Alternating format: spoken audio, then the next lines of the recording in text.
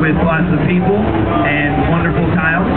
And uh, if you zoom in, then you can actually get down and see how you can actually pretty much see the leaves of a tree. It, it's fascinating the amount of detail. So you can really place your troops in whichever area you desire and really get into the thick of the war. So our first objective is to neutralize these units right here using our tanks. So we're going to do that by using a ruse one called Radio Silence.